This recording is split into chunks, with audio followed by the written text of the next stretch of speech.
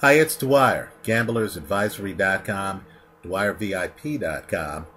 Look us up in the sports section on Roku. We're there. The vanity code is Dwyer Boxing News. The name of the channel is Dwyer Boxing and Sports News. On iTunes, Dwyer Boxing News, one word. Remember, the opinion you should follow should be your own. Just consider this video to be a second opinion from a complete stranger online. Now, let me just say this. I've long said that there's no money in boxing, right? For most. Those at the very top end of the sport do quite well for themselves, right? The Mayweathers, the Klitschko's, they're cashing checks. David Haye's, no question about it. They're building empires. But for most, there really isn't a lot of money in the sport. Now, let me just tell a private story, and then I want to uh, segue into my real message here.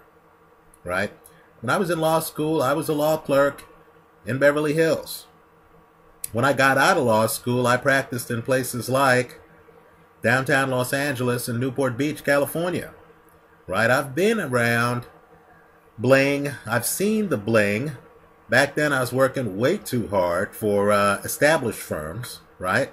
To young lawyers out there, as soon as you can, hang out your own shingle. But let me just say this.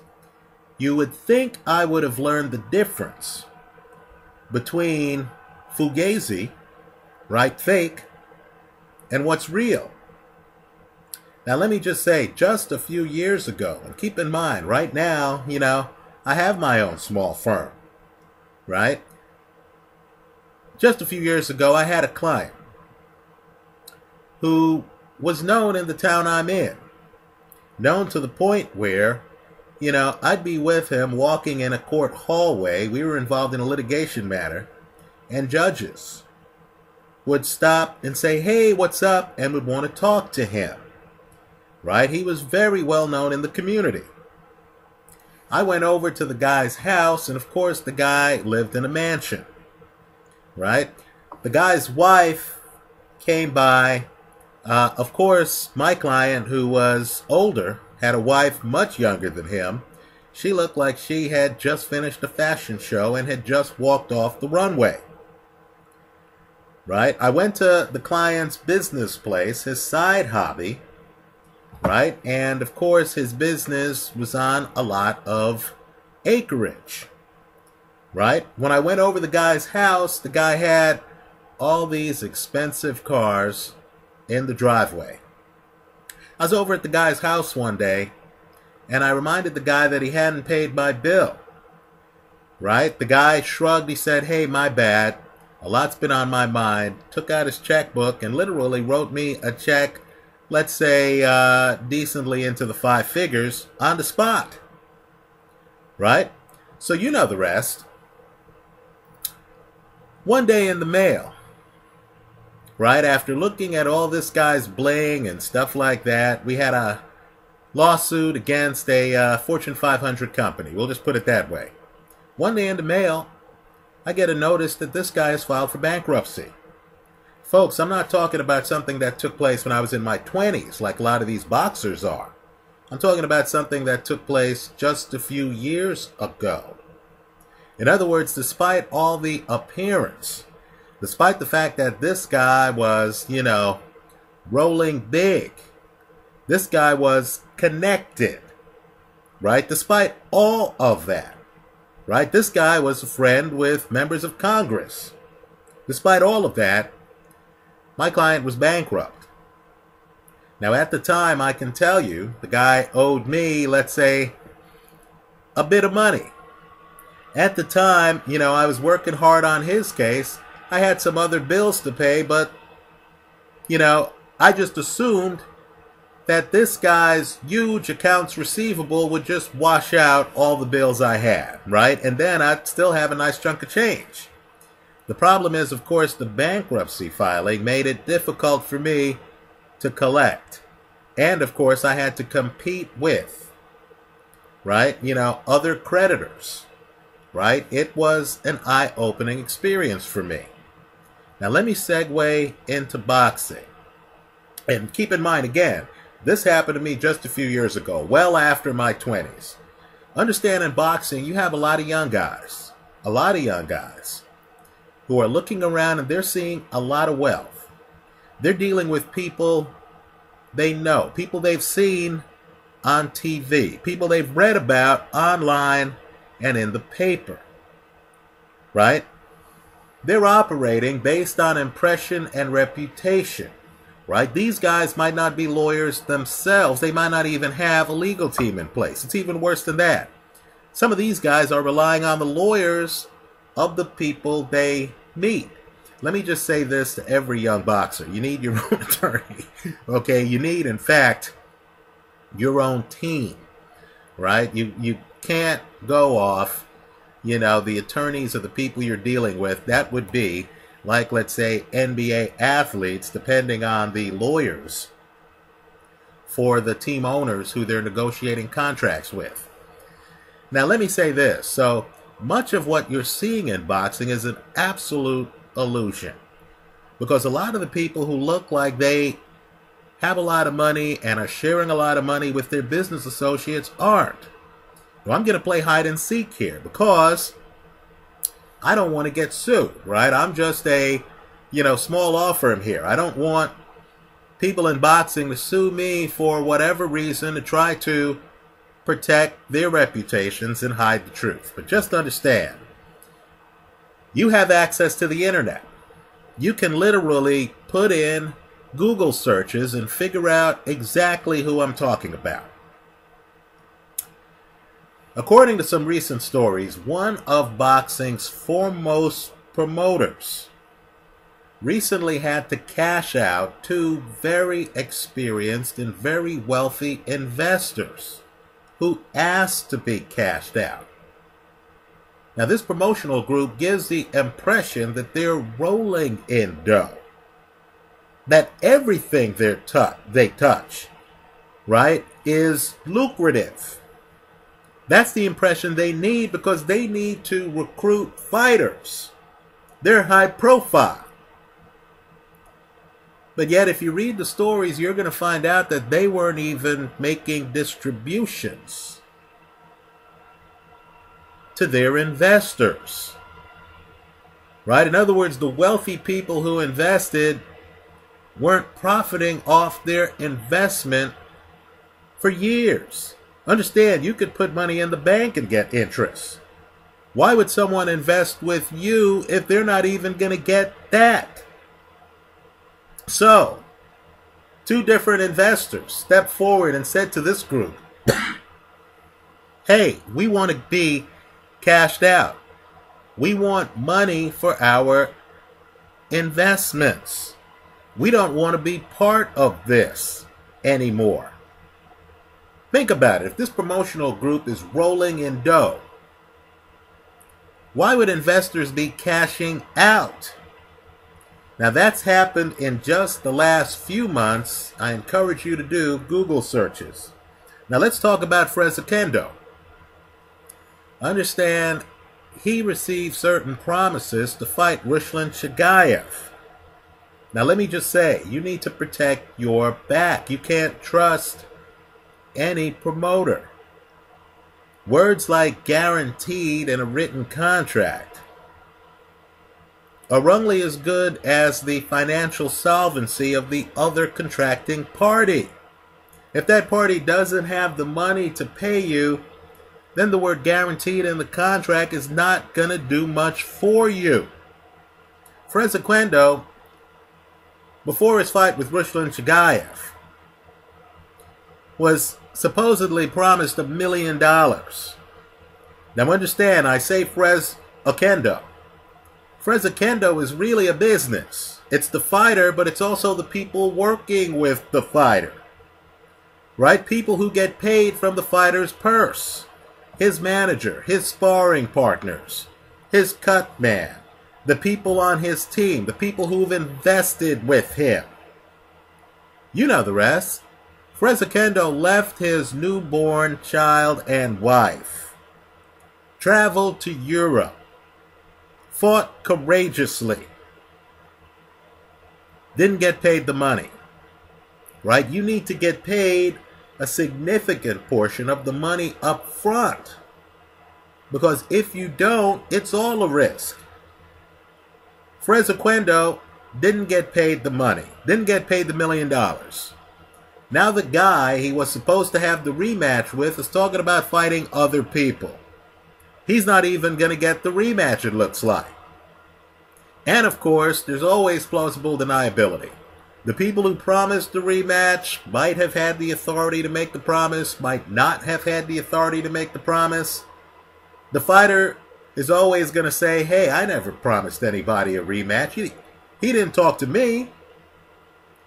Right? The end result is Oquendo went and fought a heavyweight fight, got hit with punches from a professional athlete, and isn't going to receive the million dollars he was promised.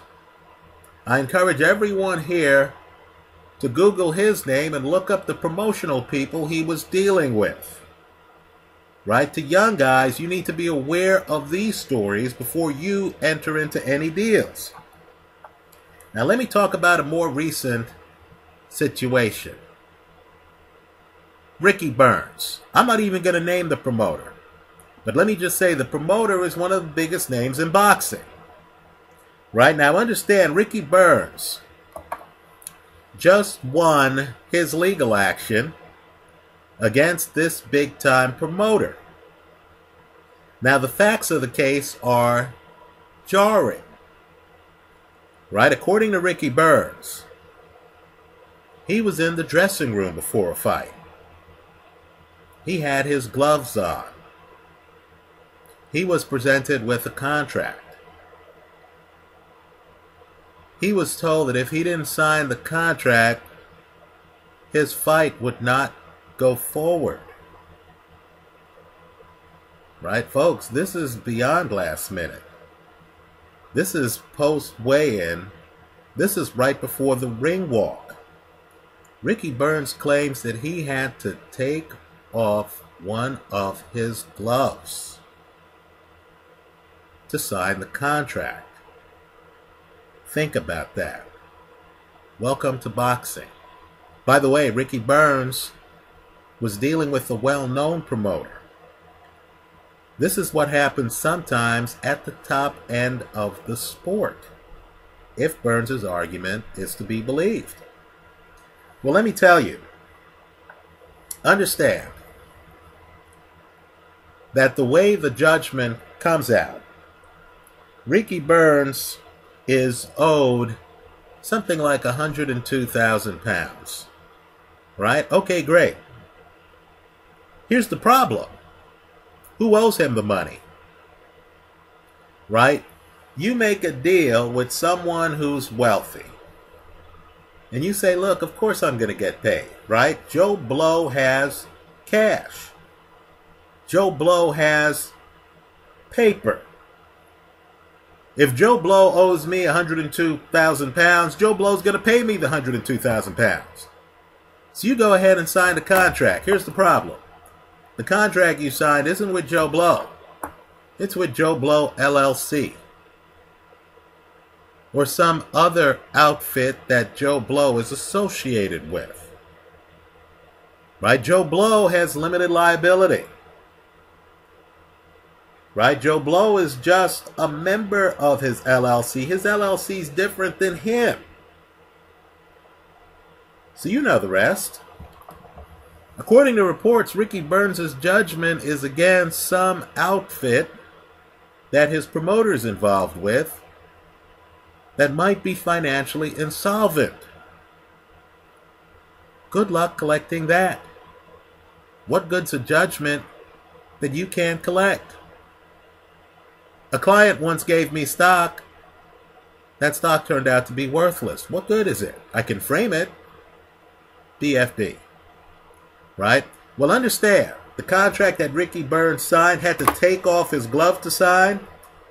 That contract was with Ricky Burns, apparently. The court ruled Ricky Burns has to pay 73,000 pounds to the promoter.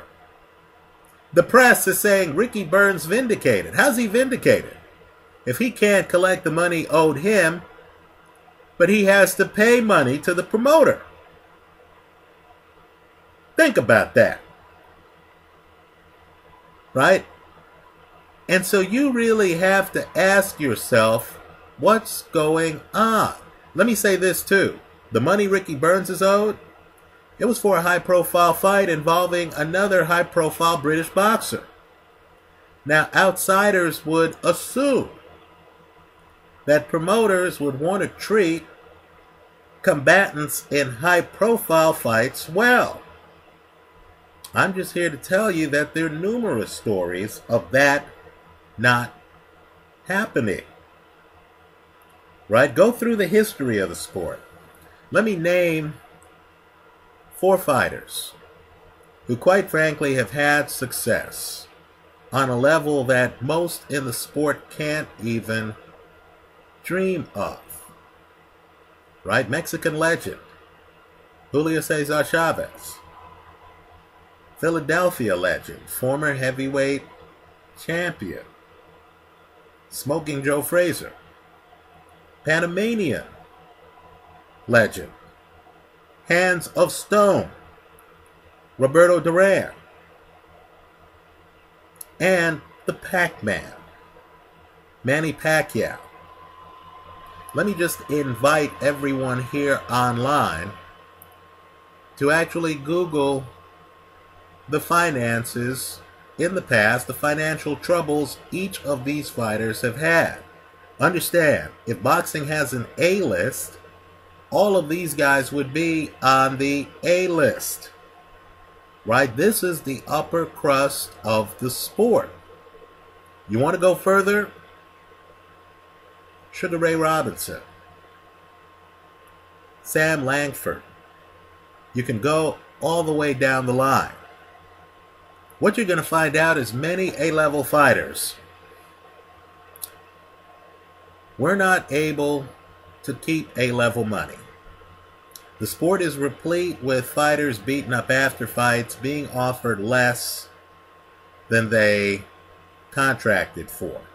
The sport is replete with promoters who look like they could, you know, pay big money after fights talking about how they lost money on the promotion and can't pay the contracted amount. Right? I'm just here to tell you